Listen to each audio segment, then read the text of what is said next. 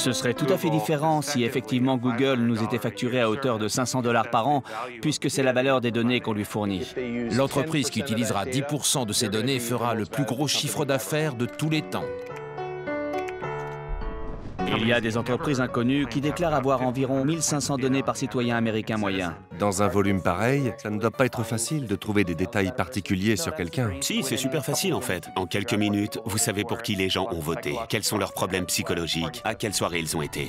Quand on accepte les conditions du contrat, c'est qu'on les considère comme valables. Et c'est terrifiant. Il est bien plus facile pour le gouvernement d'obtenir des informations par Google ou Facebook que d'aller les chercher en vous mettant sur écoute. On est obligé de confier ses moyens à quelqu'un. Comme récemment, les réseaux sociaux. Si vous faites quelque chose qui ne doit pas se savoir, mieux vaudrait peut-être ne pas le faire du tout.